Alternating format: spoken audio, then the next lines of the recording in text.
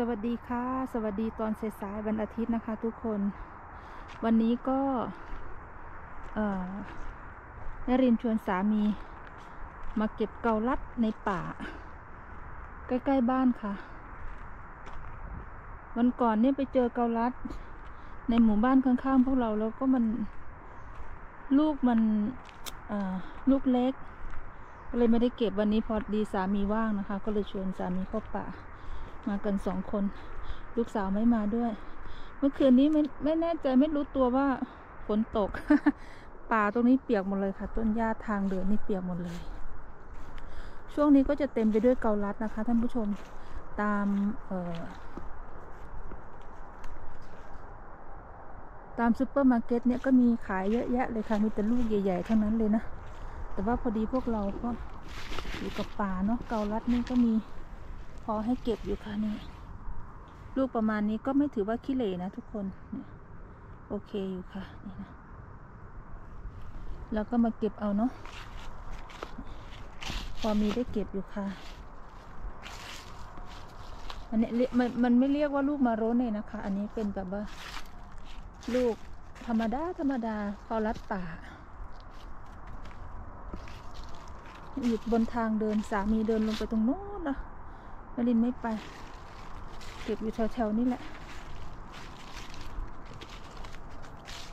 นี่ต้องใส่รองเท้าบูทมานะคะ วันนี้เพราะว่าไม่งั้นนี่โหลูกนี้ใหญ่ใหญ่อยู่ค่ะทุกคนเนาะนี่นะ ให้ดู แต่ว่าไม่แน่ใจว่ามันจะอันนั้นไหมข้างใน จะมีแมงหรือเปล่า สองลูกแล้ว ลูกนี้ได้ไหม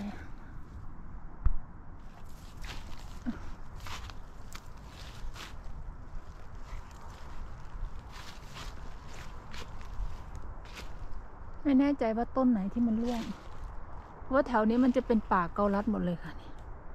ต้นนี้ก็ใช่ ต้นโน้นก็ใช่นะ ต้นเล็กต้นน้อยต้นใหญ่ก็มี ถ้าต้นเล็กลูกมันก็จะเล็กเนาะ มันยังไม่สมบูรณ์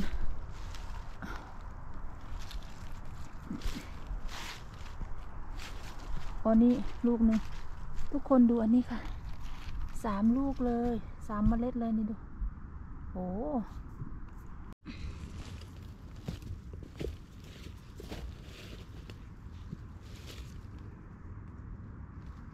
โห ให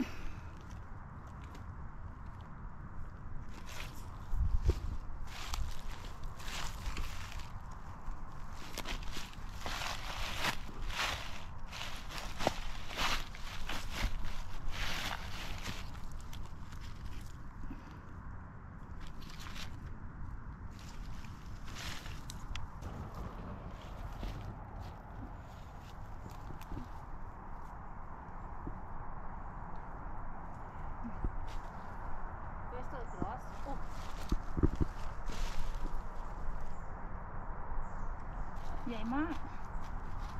เนี่ยมันต้องหาเขียดแบบนี้ค่ะทุกคนเนี่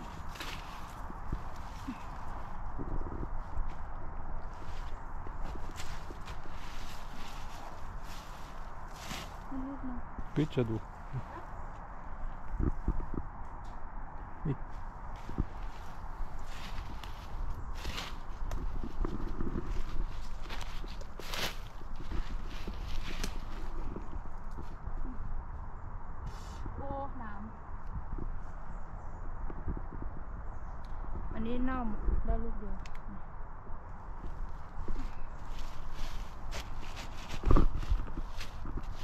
Banyak tera banyak.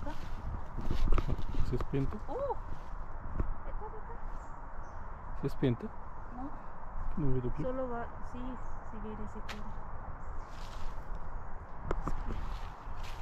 Ah, arrivano gente. Vai qui. qui. Chi? สวัสดีในครัวค่ะ ท่านผู้ชมเพื่อนๆ พี่ๆ FC ทุกคน ตอนนี้มรินก็เก็บเกาลัดมาแล้วนะคะ ก็เอามาถึงที่บ้านแล้วเนาะมาดูว่าจะสรุปว่าเก็บเกาลัดมาได้เยอะแค่ไหน อันนี้เป็นถุงที่สามีเป็นคนเก็บได้ค่ะนี่นะเยอะอยู่นะ แล้วก็ของมรินได้แค่นี้เอง ก็ไม่ไม่เกินกันเท่าไหร่หรอกนะคะทุกคนเดี๋ยวก็มาดูกันสิโหแค่คนเดียวนี่ก็เกือบเต็มกระด้งแล้วนะ นี่ ได้เยอะอยู่นี่ค่ะ นี่ก็เต็มกระด้งแล้วซึ่งมันก็จะมีลูกที่มันแตกด้วยนะคะ ทุกคนนี่ดู แตกอันไหนมันแตกนะคะ เราก็จะเอาไว้ เราก็จะคั่วกิน คั่วในกระทะเลยเนาะนี่ ถ้าอันไหนที่ยังไม่แตกนี่ก็จะเก็บไว้ วันไหนอยากกินก็ถึงจะกินค่ะนี่อันไหนมันอันนี้ก็คืออันที่มันแตกนะคะ ทุกคนนี่ของสามีนี่ก็เต็มกระด้งแล้วค่ะ แล้วของแมรินก็มารวมกันอีกนะ ก็ได้เต็มกระด้งพูนๆเลย อันนี้เน่าไหมอะเนี่ยแบบนี้ลูกใหญ่มากค่ะ แต่ว่าแตกนะเก็บ ออกอันไหนแตก นี่ โอ้โห ได้เยอะอยู่ค่ะทุกคน นี่ ลูกใหญ่แตกหมดเลยอะ ดูสิ มันแตก โอ้ นี่ ถือว่าได้เยอะอยู่ค่ะ เพราะว่าวันที่เราไปเก็บนะก็มีคนอื่นไปเก็บด้วยนะคะ เพื่อนๆ มีมีอยู่สามคนกับพวกเราเนาะพวกเรา ก็เป็นสี่คนพอดีเป็นสี่เป็นสามครอบครัวค่ะที่ไปเก็บด้วยกัน ก็ได้มาประมาณนี้ก็ถือว่าโอเคเลยค่ะนี่เต็มกระด้งเลยนะ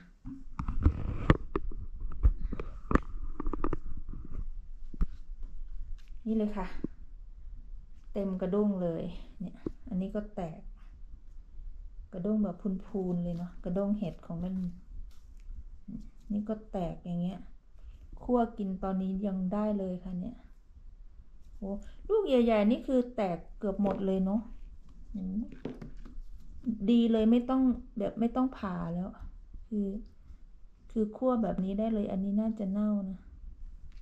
อันไหนมันเน่าเราก็เก็บออกค่ะ เพราะว่าเดี๋ยวมอดมันจะขึ้นนะมอดมันจะมาเร็วมากเลยเอเกาลัดเนี่ย ถ้าเราไม่รีบ เอ่อ ถ้าเราไม่รีบต้ม รีบลวกรีบอะไรนะคะ เขาจะเน่ามากเร็วมาก ไม่ใช่เน่าหรอกเขาจะเป็นมอดขึ้นเร็วมากเลย ก็เหมือนเม็ดมะขามบ้านเรานี่แหละ เวลาเอาไว้นานๆก็จะมอดขึ้น เนี่ยเนี่ยอย่างเนี้ยมีรูมอดมาเร็วมากเลยนะ เนี่ยนะคะสรุปเกาลัดที่เก็บได้เนาะในเช้าเออของวันหยุดที่สามีมีเวลาว่าง ก็ชวนแกเข้าป่า ไปเก็บเกาลัดนะคะ ช่วงนี้เป็น ฤดูกาลของเกาลัดกำลังร่วงเต็มพื้นเลยค่ะทุกคนสำหรับคนที่อาศัยอยู่ในป่าที่มีต้นเกาลัดให้เก็บ พวกเราก็จะเก็บมาแบบนี้ค่ะ ลูกใหญ่มาก ก็ขอบคุณสำหรับการรับชมนะคะ ทุกคนพบกันใหม่ในคลิปต่อไปจ้า สวัสดีค่ะ